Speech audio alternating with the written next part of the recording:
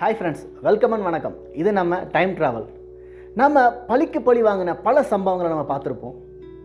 அதுலேயும் குறிப்பாக ஐந்தறிவு கொண்ட மிருகங்கள் பழி வாங்குதுன்னு சொல்லும்போது ரொம்ப ஆச்சரியமாக இருக்கும். யானை பாம்பு போன்ற விலங்குகள் பழி வாங்குதுன்ற நிறைய கேள்விப்பட்டிருக்கோம்.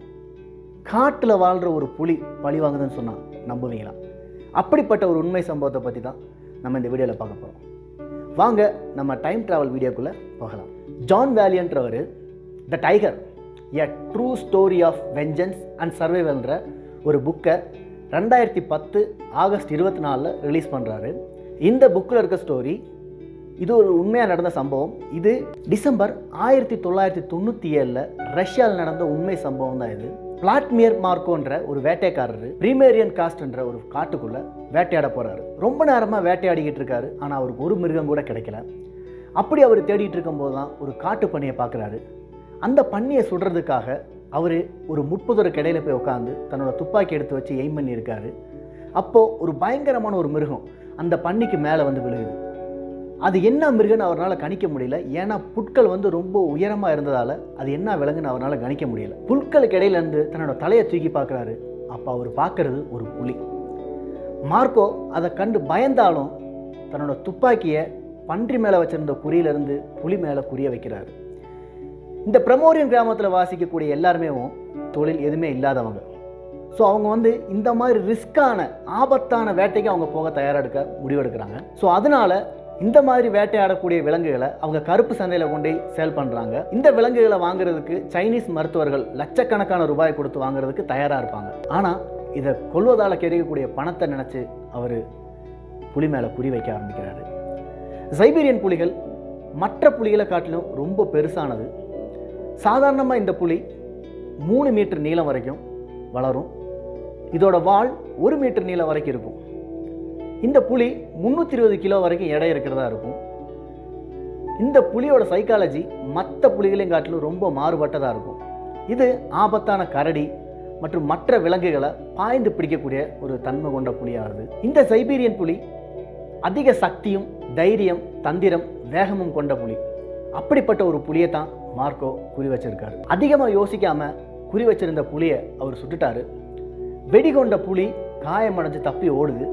உடனே இவர் அந்த பண்ணி எடுத்துட்டு இவரும் தப்பி ஓடுறாரு. தப்பி ஓடின மார்க்கோ எல்லாம் முடிஞ்சுன்னு நினைக்கிறாரு.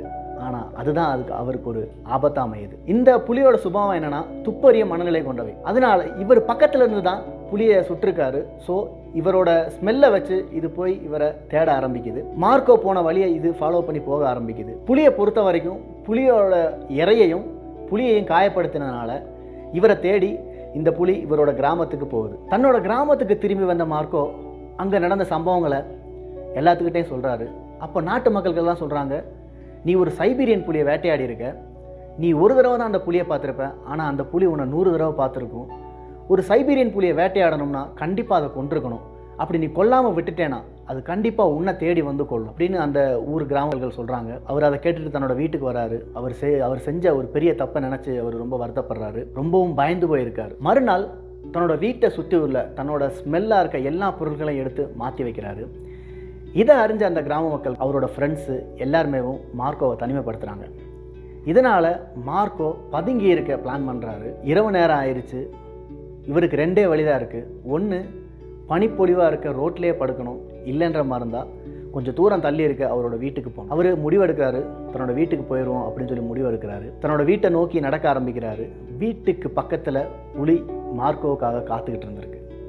தன்னோட இறையும் எடுத்துட்டு தன்னையும் காயப்படுத்திட்டு போன எதிரி வந்துட்டான்னு சொல்லி புலி அவர் மேலே பாஞ்சு அவரை கொல்றது. கொண்டது மட்டும் இல்லாமல் அவரோட பாடியையும் எடுத்துகிட்டு அது காட்டுக்குள்ளே போயிடுது நாலு நாளைக்கு அப்புறம் மார்க்கோவோட ஃப்ரெண்டு டிகோவிக்ஸு காட்டுக்குள்ளே மார்க்கோவோட பாடியை கண்டுபிடிக்கிறாரு. அந்த பாடியில் புலியோட கோபம் அது எவ்வளோ பழிவாங்கும் கோபமும் அதில் காட்டியிருக்கு.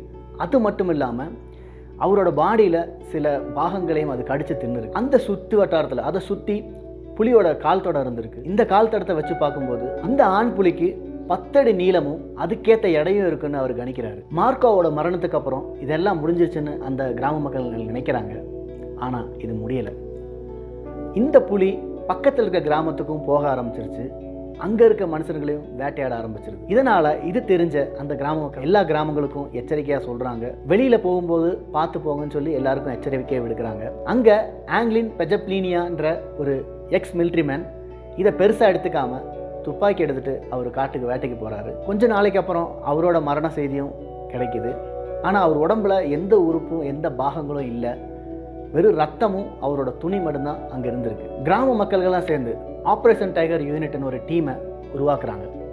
இந்த டீமோட குறிக்கோள் என்னன்னா அந்த புலியை வேகமாக பிடிச்சு கொல்லணுன்றது. இந்த புலியோட கால் தடங்களெல்லாம் வச்சு அவங்க தேடி பார்த்து போகும்போது இந்த புலியோட கால் தடம் ஒரு வேட்டைக்காரரோட வீட்டுக்கு முன்னாடி காத்துக்கிட்டு இருந்ததா தெரிய வருது. ஆனால் அதிர்ஷ்டவசமாக அன்னைக்கு அந்த வேட்டைக்காரர் அவர் வீட்டுக்கு வரல.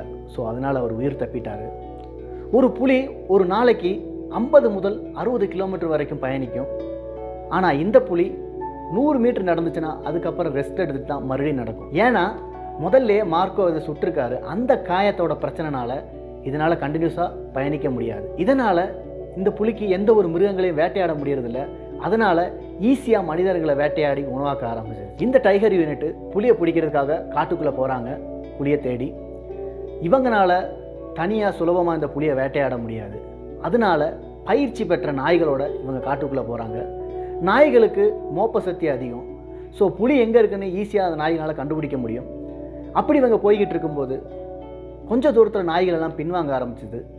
என்னென்னா புலி இருக்க இடத்துக்கு நெருங்கிட்டாங்க. உயரமான புல்லுல இருந்து புலி பாஞ்சு மேலே வருது. பாஞ்சு வந்த புலி வேட்டைக்காரன் மேலே நகத்தை வச்சு நெஞ்சில் பதிக்குது. அதிர்ஷ்டவசமாக அவர் நெஞ்சு மேலே ஒரு வாக்கி டாக்கி இருந்துச்சு. ஸோ அவருக்கு அதிகமான காயங்கள் ஏற்படலை. உடனே அவர் தன்னோட துப்பாக்கி எடுத்துட்டு அந்த புலி மேலே குறி வைக்கிறாரு. துப்பாக்கியோட ஒரு முனையை புலி தன்னோட வாயில் கடிக்குது. கரெக்டாக இவர் ஷூட் பண்ணுறாரு ஸோ இவ்வளோ நாளாக மக்களுக்கு தொல்லை கொடுத்துட்டு இருந்த அந்த சைபீரியன் புலி தன்னோட உயிரை விடுது. அந்த கிராம மக்கள் எல்லாம் அந்த புலியோட உடம்பை எடுத்துகிட்டு போயிட்டு போஸ்ட்மார்ட்டம் பண்ணி பார்க்குறாங்க. அப்படி பார்க்கும்போது ஒரு அதிர்ச்சியான சம்பவம். என்னன்னா அந்த புலியோட உடம்புல நிறைய குண்டுகள் அதாவது நாட்டு துப்பாக்கி குண்டுகள் அந்த புலியோட உடம்புல பதிஞ்சிருந்து இப்போ தெரிஞ்சிருக்கும்னு நினைக்கிறேன். ஏன் அந்த புலி எல்லாரையும் வேட்டையாடி இருக்குன்றது? இதுதாங்க பழிக்கு பழி வாங்கின புலியோட உண்மை கதை. இந்த வீடியோ உங்கள் எல்லாருக்கும் பிடிச்சிருக்கும்னு நினைக்கிறேன்.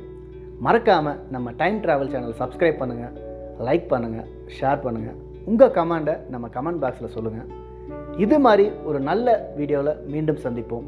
நன்றி வணக்கம்.